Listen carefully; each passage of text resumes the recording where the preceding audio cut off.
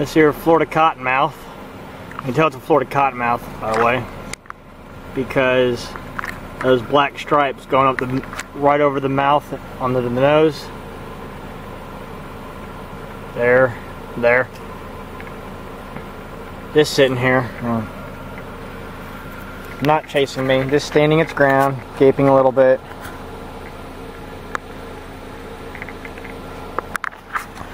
They really are not very aggressive at all.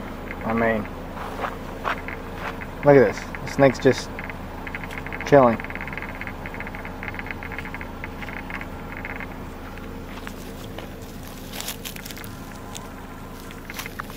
Well, it's nothing to do with me and everything to do with this mud down here at the bottom of this uh, ditch.